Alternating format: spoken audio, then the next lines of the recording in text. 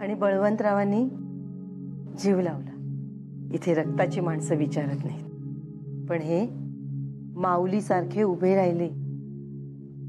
ऐकलत का ताई? विठोबा माऊली आहेत हो पण त्यांच्या पाठीशी कोण आहे?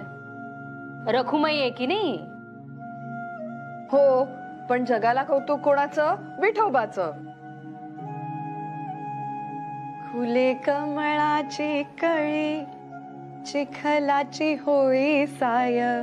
सावळ्याला सावराया ये ग ये ग रखुमाय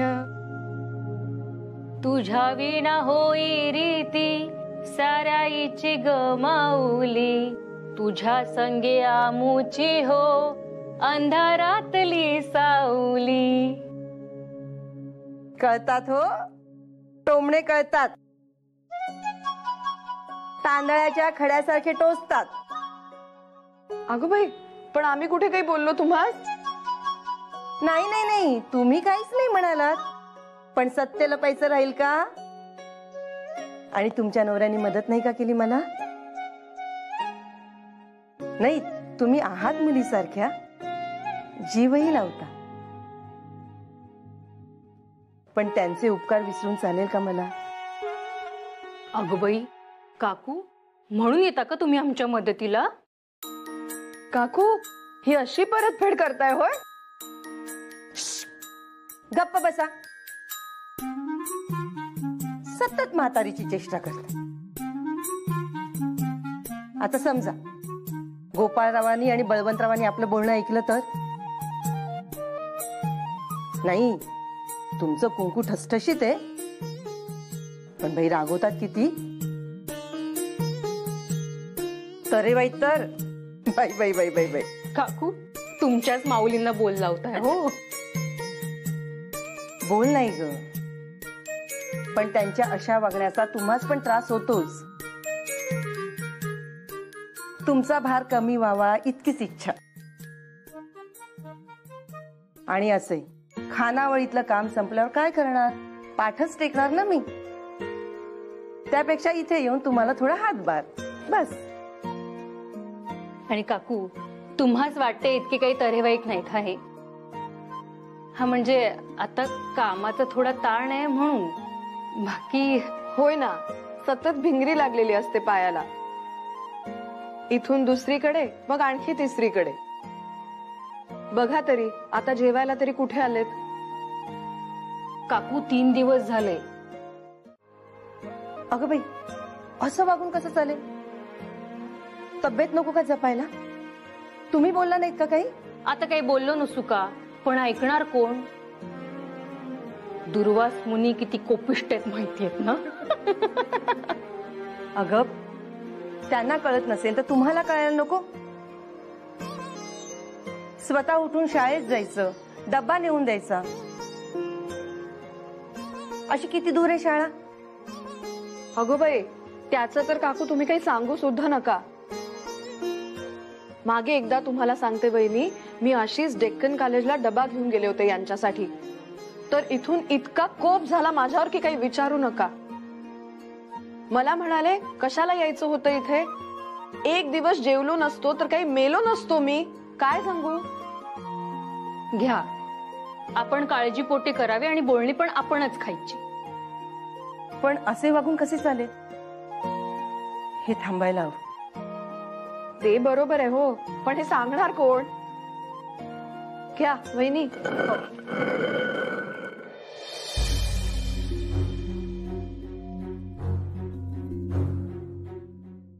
बघतोच मी!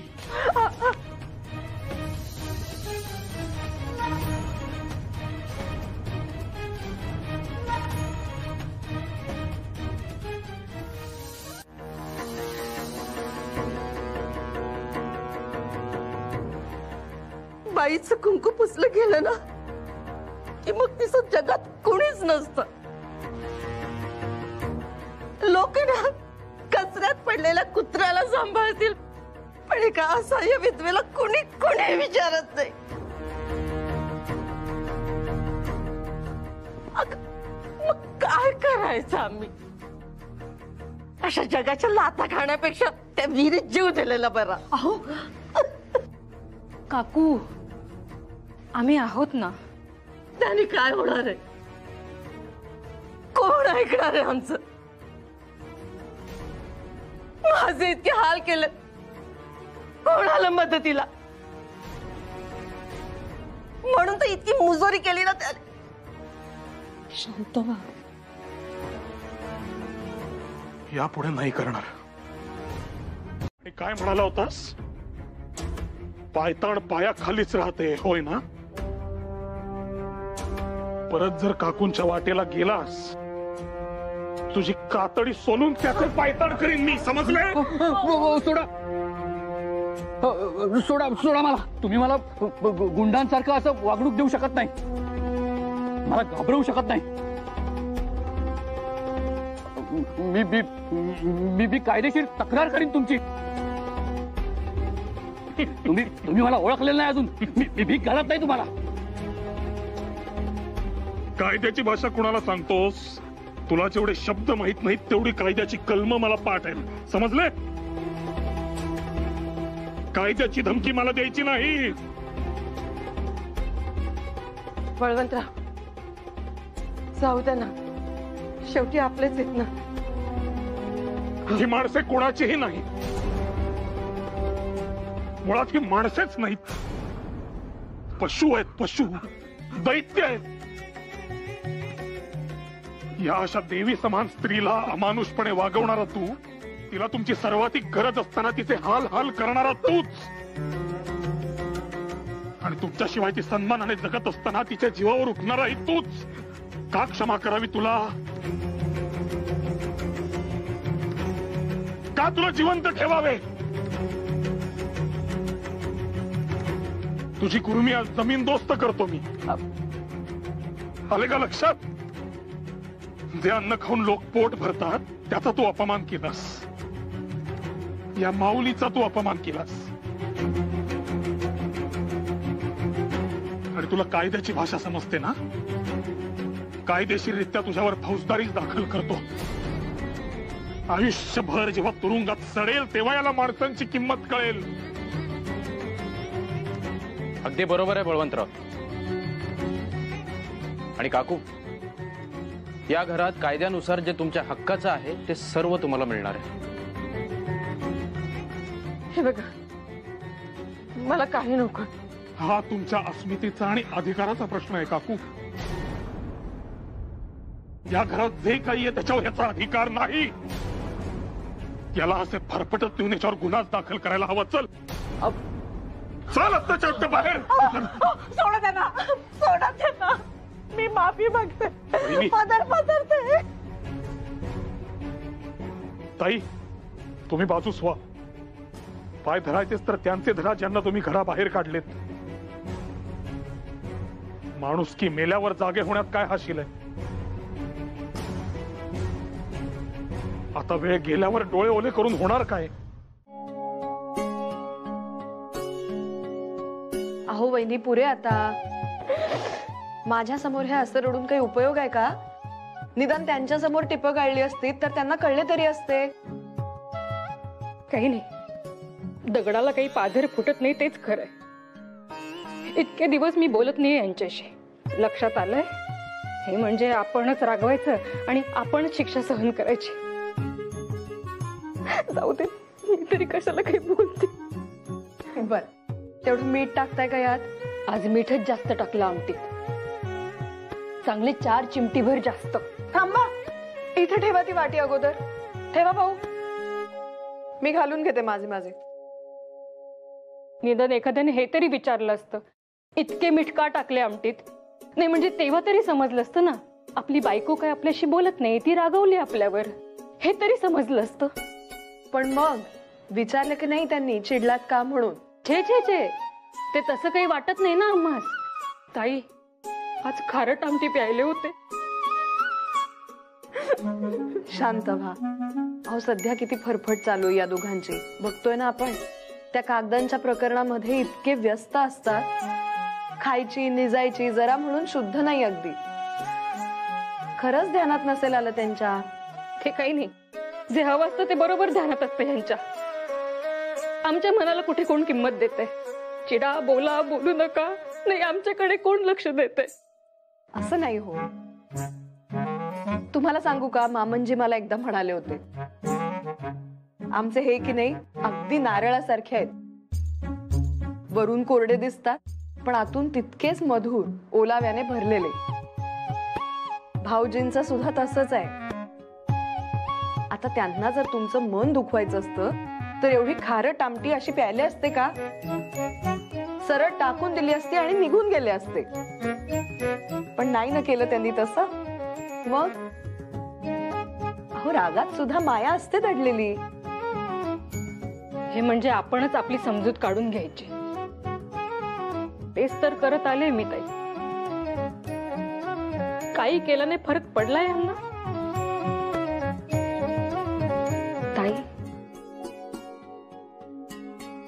यांना हा अबोला पण आवडू लागला तर?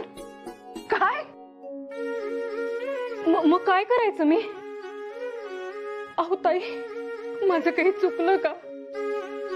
चुकीचं वागले का मी? ताई ताई का तुम्ही?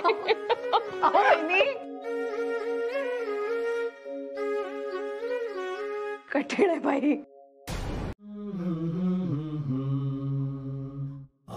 अशी काय डोळे फाडून बघतीये तुम्हाला इतका आनंद झालेला फार क्वचित बघायला मिळतो.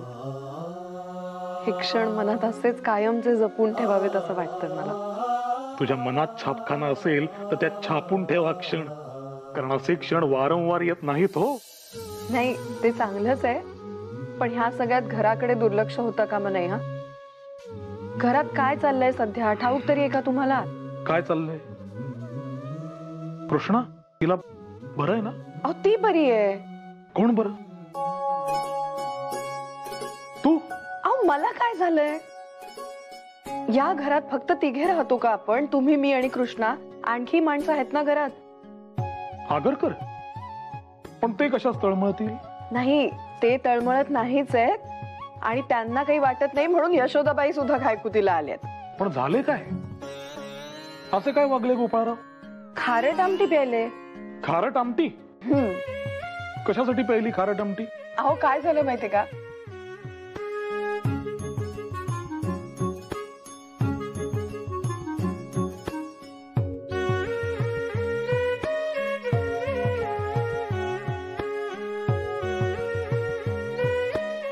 काय हो? वहिनी भाऊजींसोबतचा अबोला अजून संपला नाही वाटतं? आजही आमटीत मीठ जास्तच? अरे देवा.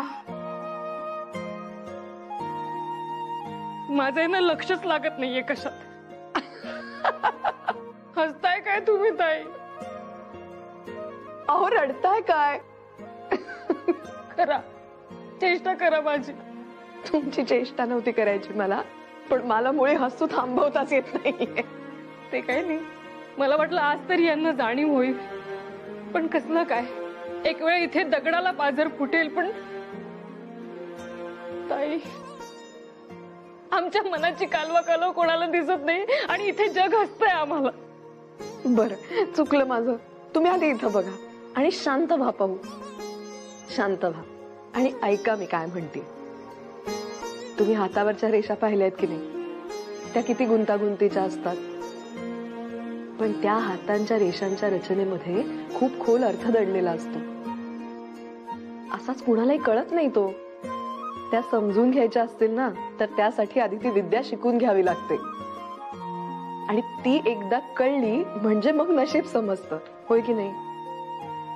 आता हे काय किंवा भाऊजी काय? आहेत हातांच्या रेषांसारखेच. मनात इतका गुंता आहे. त्यात काय घडतंय काय चाललंय ते तसंच नाही समजत. तेव्हा ती विद्या शिकून घ्यायची असेल तर आपण आपापल्या परीने प्रयत्न करत राहायचं. होय की नाही? पण आपण तर प्रयत्न करतोच आहोत ना ताई. आपले प्रयत्न त्यांना दिसायला तरी हवेत. आणि मी तुम्हाला ओळखतो. विश्वासघात करायचा तुमचा स्वभाव नाही. मला ठाऊक आहे. पण बळवंतराव जगास हेच वाटणार ना? असो. झालं गेलं गंगेत लोप पावलं.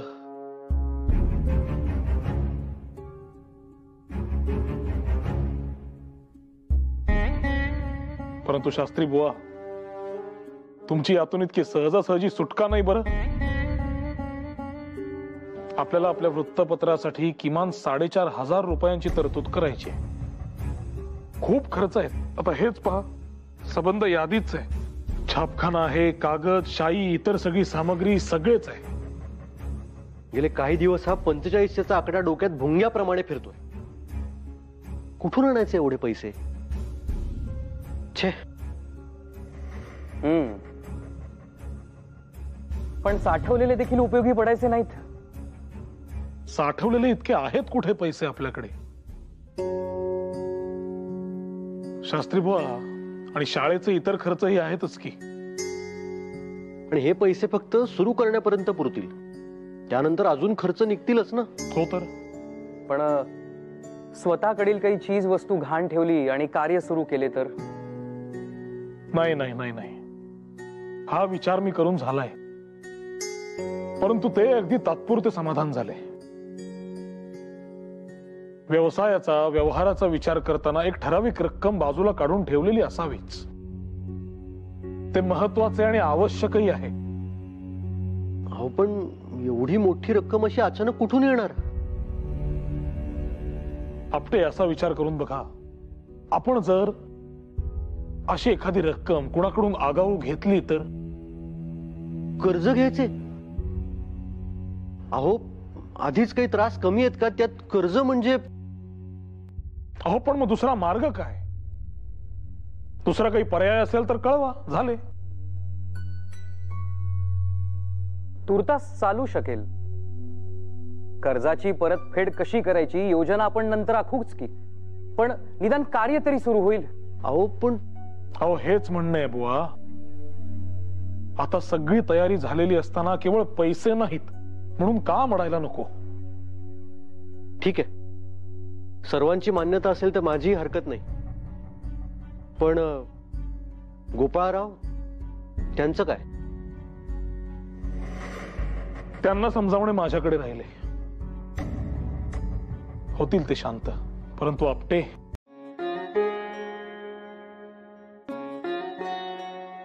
असं झालं? मग दाखव मला ही बाहुली हा? काय हे? तिच्या अंगावर सांडलं असतं म्हणजे? लक्ष कुठं आहे तुमचं? कधी हा वेंदळेपणा जाणार आहे कोणाच ठाऊक? अहो तुम्ही असे अचानक वळलात म- मला द्या.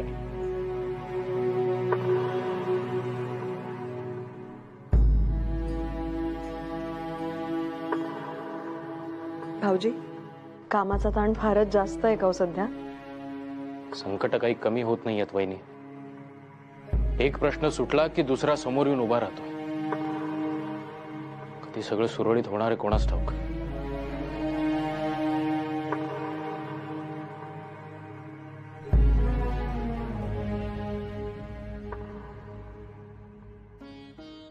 कितीतरी प्रश्न आपल्या समोरच असतात. ते तरी दिसतात का? आम्ही हेच तर शिकत असतो. एका उत्तरात पुढील प्रश्नाचं बाळणपण करायचं. ती उत्तरं मिळायला लागली म्हणजे सगळं सोपं होतं. आणि ते एकदा जमलं की संसाराचं गणित जमलंच. हाच तर संसार. त्या त्या वेळी ते ते प्रश्न सुटणं महत्वाचं एकमेकांची मन जपत.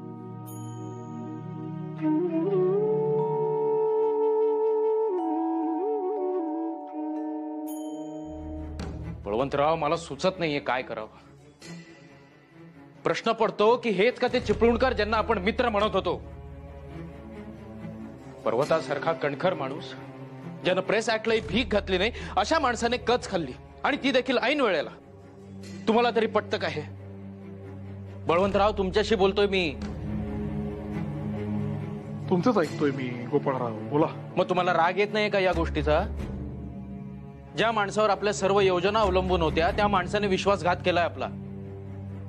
वास्तविक हा राग तुम्हाला देखील यायला हवा होता पण तुम्हाला ही चित्र काढण्यात धन्यता वाटते हा.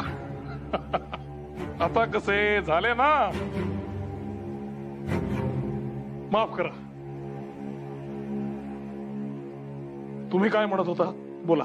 काही अर्थ नाहीये तुमच्याशी बोलून. तुम्ही तुमच्याच कामामध्ये गरका हे कसे ऐका? तुमच्या या प्रश्नातली त्राग्यातच तुमचे समाधान आहे. मला पूर्वी गोविंद काकांनी सांगितले होते. हो. बस झालं तर. अशीच खंबीरपणे सोबत राहा माझ्या. कसलीही चिंता करू नकोस. हा पण लिहायला वाचायला शिकायला लागेल तुला.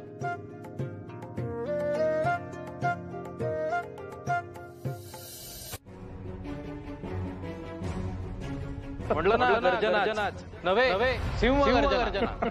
आपल्या वृत्तपत्राच्या लेखातून अशीच गर्जना करायची तुम्हाला. जेणे क्रांती घडेल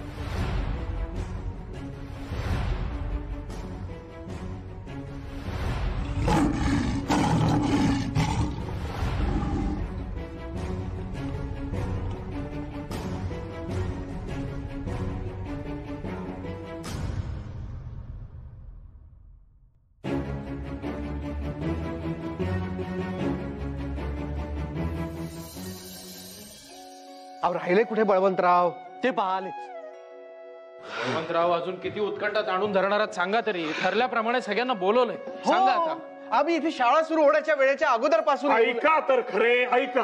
गोपाळराव आपण काल चर्चा करताना म्हणालो होतो की आपल्या वृत्तपत्राचे नाव असे हवे जे जनतेस स्फूर्ती देईल. लोकांना जागे करेल. ती एक गर्जना असायला हवी होय की नाही? हम्म. ती नुसती गर्जना नसेल ती असेल एक भावना. सर्वांना आपलेसे करणारी. एक अशी गर्जना ज्याने शत्रू चळाचळा कापेल. दरारा असा की कोणी ब्र देखील काढणार नाही. एक अशी भावना जी वनराजासारखी सगळ्यांना सामावून घेईल. एक असा हात जो सर्वांना आधार देईल. आणि विश्वास देईल आपलेपणाचा. बळवंतराव नक्की म्हणायचंय काय तुम्हाला? गोपाळराव आपले वृत्तपत्र हे फक्त एक नाव नसेल. ती असेल एक आरोळी. जी ऐकताच वाऱ्याची दिशा देखील बदलून जाईल. हेच नाव आपले विचार सर्वदूर पोहोचवणार. हेच नाव आपली दिशा बदलणार. आणि हेच नाव आपले भविष्य घडवणार. ही असेल आपली सिंह गर्जना केसरी.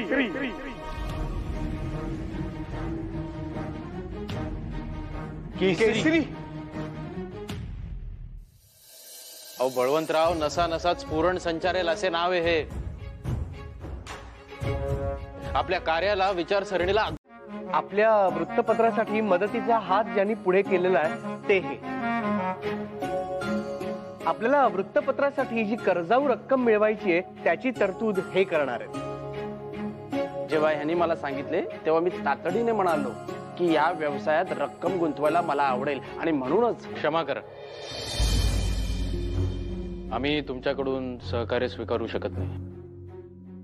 काय? हे बघा हे वृत्तपत्र आमच्यासाठी व्यवसाय नव्हे व्रत आहे. एक ध्येय ज्याचा उद्देश समाज प्रबोधन देश सेवा आणि क्रांती हा आहे. या व्रतामध्ये तुम्हाला सहभागी व्हायचं असेल तर तुमचं स्वागत आहे. परंतु व्यवसाय म्हणून याकडे पाहत असाल तर क्षमा करा. गोपाळराव अहो तुमच्यासारख्या व्रतस्थ माणसाची सोबत असेल तर मी का नाही सहभागी होणार? तुम्हीच सांगा. त्या दिशेने आपण कार्य सुरू करू. हे बघा हे वाटते तितके सोपे नाही आजकाल गल्लोगल्ली जी वृत्तपत्रे आढळतात त्यातले हे नव्हे. समाजातील प्रत्येक घटकाने आमचे वृत्तपत्र वाचून समृद्ध व्हावे हे आमच्यासाठी महत्त्वाचे आहे. तुम्ही बसा मी सविस्तरपणे सांगतो.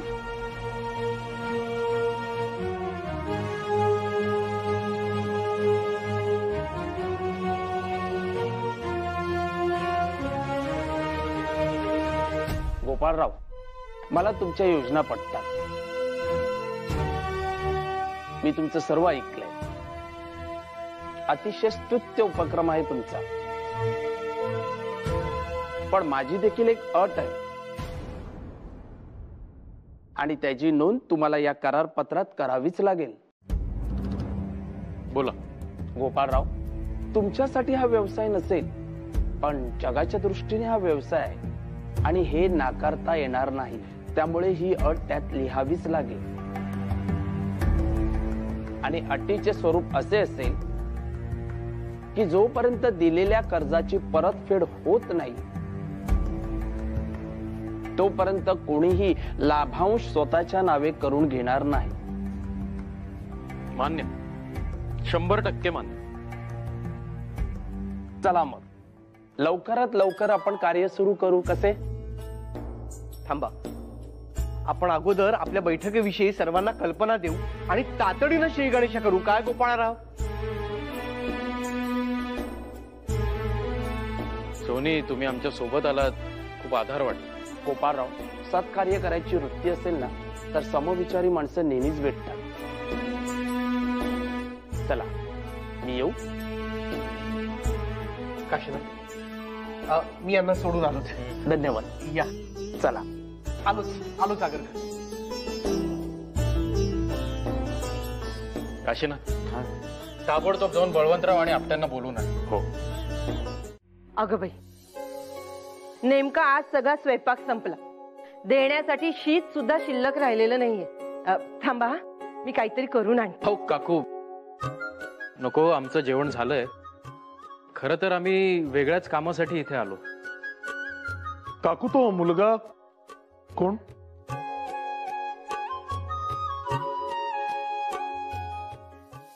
दीनानाथ. कोण कुठचा महत्वाचं नाहीये. पण मला मात्र पोटच्या पोरासारखा जीव लावला त्याने. त्र्यंबकहून आलाय. त्याच्या वडिलांना तो शस्त्र बाळगण्याबाबत जो कायदा आहे ना आर्म्स ऍक्ट त्या कायद्याखाली अटक झाली होती. गोऱ्यांनी त्यांना इतकं छळलं की तिकडेच त्यांचा मृत्यू झाला.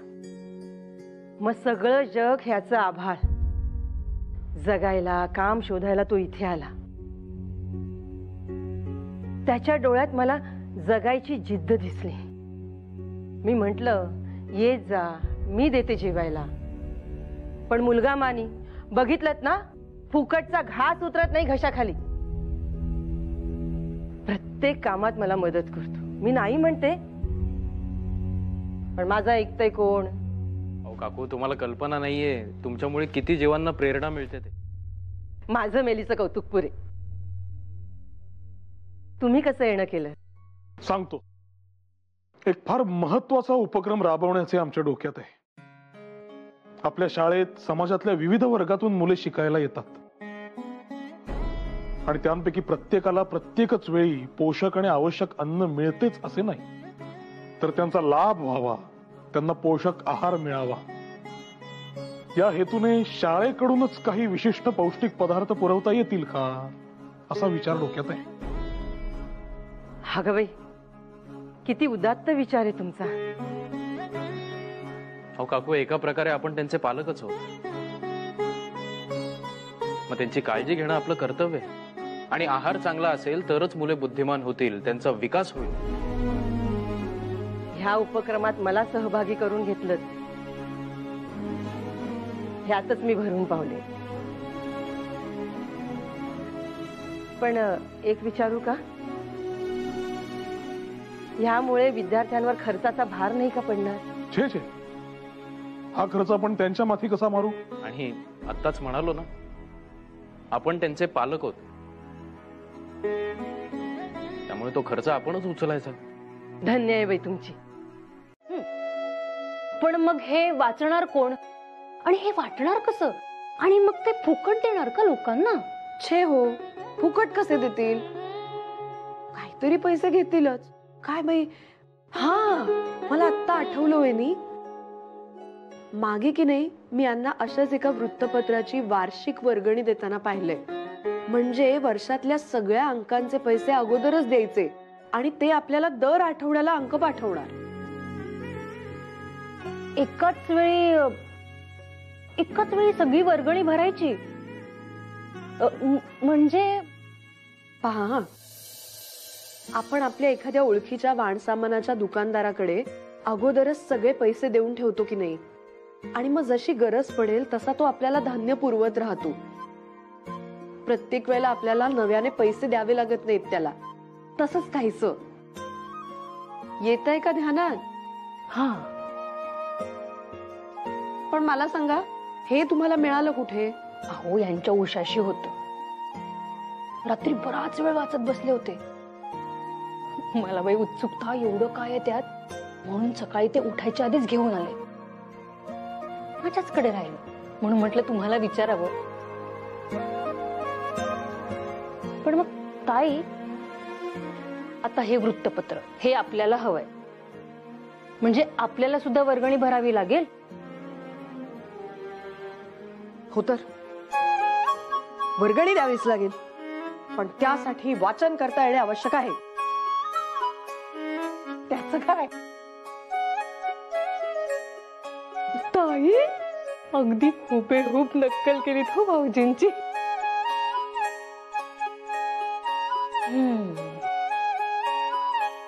हा कळीचा मुद्दा आहे तो हो. नाही ते वाचन तर यावं लागेल ना.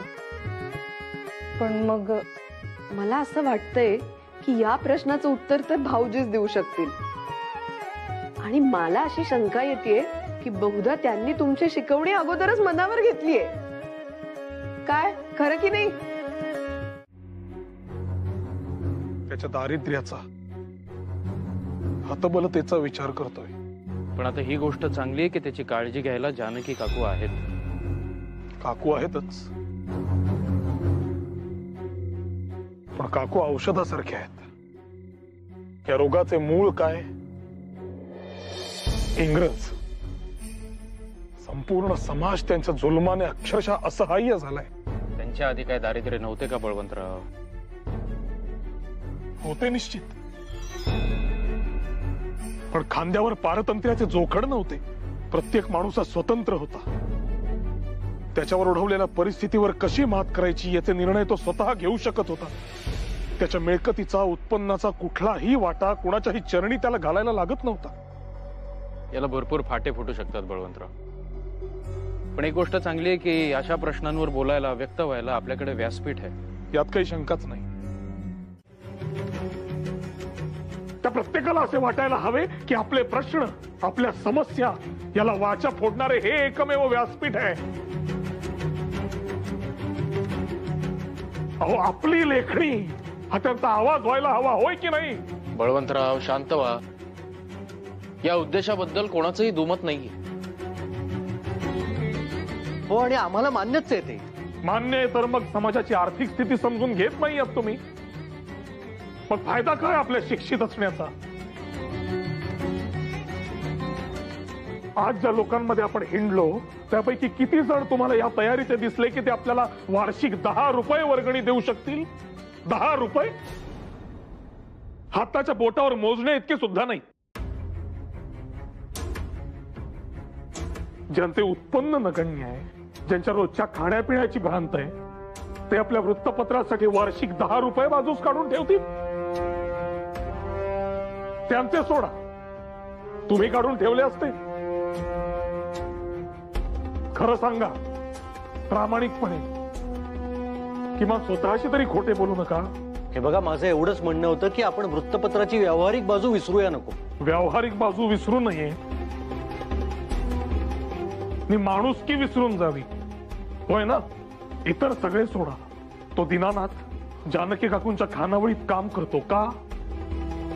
कारण त्याला कोणी ऐत खाऊ म्हणू नये म्हणून तो त्यांना कामात मदत करतो.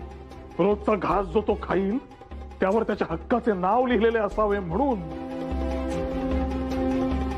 आता अशा व्यक्तीसाठी जगणे ही गरज असेल का वृत्तपत्र?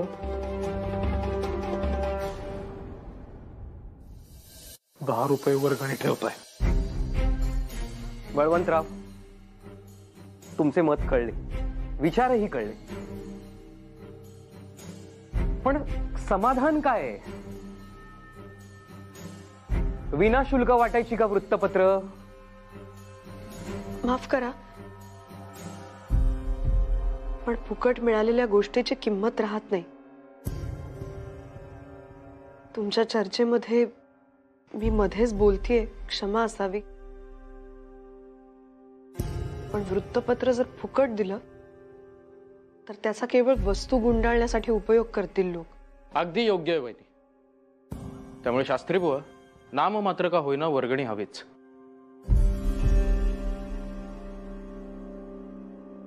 अहो, तेच पण म्हणजे किती? केवळ एक रुपया. काय? एक रुपया? अहो एक रुपया बळवंतराव? नाही नाही नाही. माझ्या मते किंमत आपण थोडीशी वाढवावी. जोशी बुवा. गोपाळरावांना पण दे ते सुद्धा बाहेर पडतायत. अहो. दे तर खरे. अहो त्यांना आवडत नाही ना. अगदी बरोबर वहिनी. एक काम करा माझ्या वाटचं दही सुद्धा त्यांनाच द्या. मुळात प्रत्येक वेळेला बाहेर जाताना दही हवंच कशाला? बुवा दही प्राशनावरचे तुमचे विवेचनामा सर्वांना ठाऊक आहे.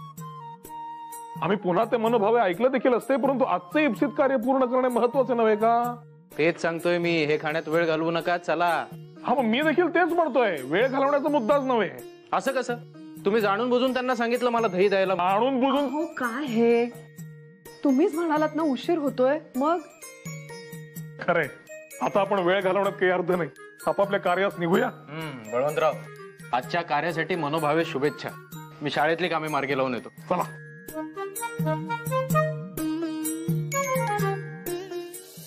हे सगळे काल बोलायला काय झाले होते? वर्गणीची किंमत ऐकून तोंड कसं केलेत काल? सांगा. बळवंतराव जाऊ द्या ना. सोडा तो विषय नकोच. आता तुम्हाला सांगावेच लागेल. मी आपल्या एवढ्या पोटतिडकीनं बोलतोय. मी तुम्ही री ओढायलाच तयार नाही. पण खरेच बळवंतराव केवळ एक रुपया वर्गणी ऐकून कोणाच बरे उत्साह वाटेल? तुम्हाच काही सांगायला जावे तर तुम्ही असे चवताळून अंगावर धावून येता. की पर्यायच उरत नाही मूग घेऊन गप्पा राहण्याशिवाय. अहो पण आता हे तुम्हाला आम्ही समजावावे का? आपले वृत्तपत्र हा व्यवसाय नव्हे त्याचा उद्देश निराळा आहे. त्याचे ध्येय क्रांती घडवणे हे आहे. झालं तर मग. पण मी तुम्हाला सांगतोय की बळवंतराव आपण आत्ता तातडीनं ते छपाईचं यंत्र आणि इतर सामुग्री आपल्या ताब्यात घेऊ. हाच निर्णय योग्य आहे. त्यामुळे होईल काय की आपल्याला आपले कार्य तातडीनं सुरू करता येईल. ते तर झालं काम तातडीनं सुरू करायलाच हवे. आणि एकदा का ही सगळी यंत्र सामग्री आपल्या हाती आली की आपल्याला ठरवता येईल त्याचा उपयोग कसा करायचा? जसा एक दिवस हा देश ब्रिटिशांच्या तावडीतून आपल्या हाती येईल. आणि आपण त्याचे कल्याण करू. तुमची वाणी खरी होणार बळवंतराव. निशंकपणे. चला.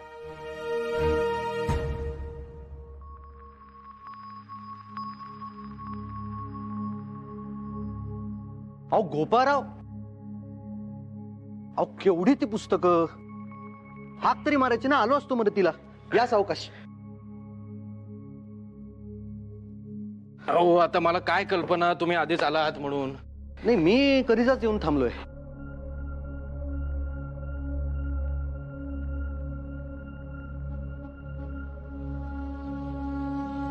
संघात वागवणारे तुम्ही झालं काय? लावा की जोर. लावा लावा. ते माहिती पुस्तक द्या. त्यात सगळं नीट वाचून मगच यंत्र उभं केलं होतं. माझ्या मते सगळ्या गोष्टी जागच्या जागेवर आहेत. पुन्हा वाचावं लागणार. बळवंतराव ठेवा ते माहिती पुस्तक. अहो पण हिला ठेवा म्हणतो ना. आता ऐका तो कासरा पुढे घ्या आणि ते चाक आहे ना ते पुढच्या दिशेने फिरवा. मी हा दट्ट्या इकडनं वर करतो. करायचं सुरू? बर. एक दोन तीन. जाऊ द्या. फिरलं का? फिरले की?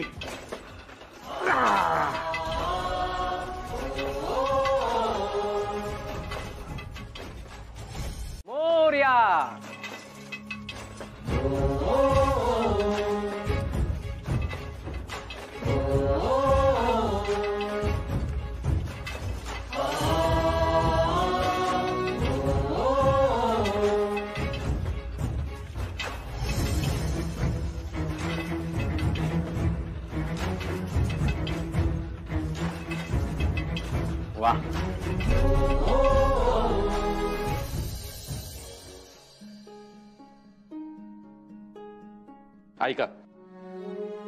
केसरीची उद्देश पत्रिका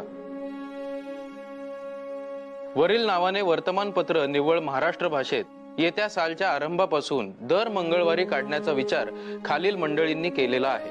खाली आपली नावे. या पत्रात एरवीच्या वर्तमानपत्राप्रमाणे बातम्या राजकीय प्रकरणे व्यापार संबंधी माहिती वगैरे नेहमींचे विषय तर येतीलच. पण त्याखेरीज लोकस्थितीवर निबंध नवीन ग्रंथावर टीका याचाही समावेश करण्यात येणार आहे. तसेच विलायतेत ज्या राज्य प्रकरणांची वाटाघाट होते ती इकडील लोकांस समजवणं आवश्यक असल्याने त्याचाही समावेश करण्यात येईल. या पत्राचा साचा सुबोध पत्रिकेसारखा धरण्यात येईल. किंमतही अगदी थोडी ठेवलेली आहे. मात्र एक रुपया. वर्गणीदार होऊ इच्छिणाऱ्यांनी खालील पत्त्यावर कळवावे. वा. बळवंतराव. हवे ते सर्व मुद्दे यामध्ये आलेले आहेत. वा. आता हे पत्रक घरोघरी पोचले की लोकांमध्ये जागृती होईल आणि प्रसिद्धी सुद्धा मिळेल. आणि सभासद वाढायलाही मदत होईल. आणि वर्गणी सुद्धा. बरोबर. हे कार्य तर सुरू होईलच. आपण आठवड्यातून एकदा वृत्तपत्र छापणार त्यामुळे त्या कामाची तशी काळजी नाही. मात्र लेख उत्तम आणि दर्जेदार लिहिले की निम्मे काम झाले. बळवंतराव अहो कार्य इथेच संपत नाही. मला तुम्हा सगळ्यांना एक महत्वाची बातमी सांगायची आहे ना. महत्वाची बातमी? आता काय? मला सांगा मंडळी आपण आपलं वृत्तपत्र आठवड्यातनं एकदाच छापणार आणि ते लोकांपर्यंत पोहोचवणार मग इतर दिवसांचे काय? इतर दिवस? गोपाळराव अहो छापखाना काढलाय. तो असा बंद ठेवून चालणार आहे का? खर्च भरून काढायचा आहे की नाही? शिवाय कर्जाची परतफेडही आहेच. पण आता करणार काय शास्त्री बुवा? आता सांगतो. वृत्तपत्राच्या व्यतिरिक्त इतर छपाईची कामं देखील आपल्याला सुरू करावी लागतील. इतर छपाईची कामं म्हणजे? बापरे बळवंतराव. हो, केवढी गर्दी आपला कार्यभाग साधला जाणार नाही. चला. असे कसे? ज्या कामासाठी आपण आलो ते पूर्ण केल्याखेरीज काही आपण जायचे नाही. ते पहा तिथे. तिथे जायचंय आपल्याला. नाट्यगृह आहे. शाकुंतल पाहण्यास किती गर्दी जमली आहे बघताय? त्या गर्दीत जाऊन आपल्याला सांगायचंय आपल्या वृत्तपत्राबद्दल. बळवंतराव मुंबई ही तुम्हाला वाटते तितके सोपे नाही. शिवाय आपण त्यांची परवानगी देखील घेतली नाहीये. परवानगी कशाच घ्यायला हवी? विसरलात का?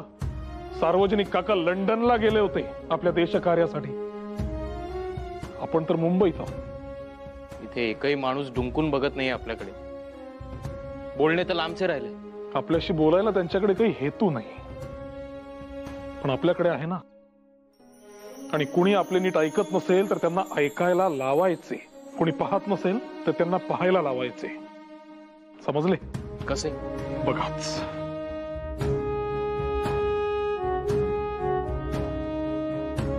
मंडळी! ऐका हो ऐका!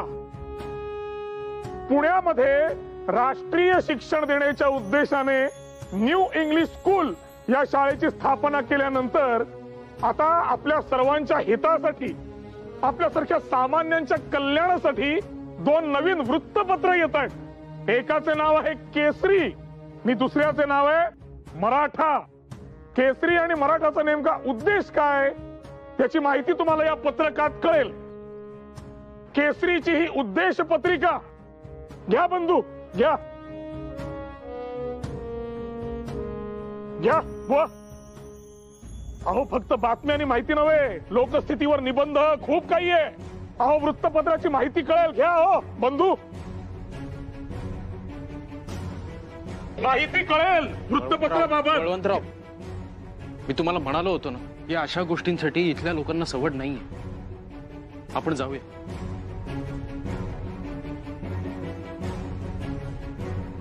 पाहिले? सवड आहे. बुवा हे घ्या. केसरी वृत्तपत्राची उद्देश घ्या, पत्रिका.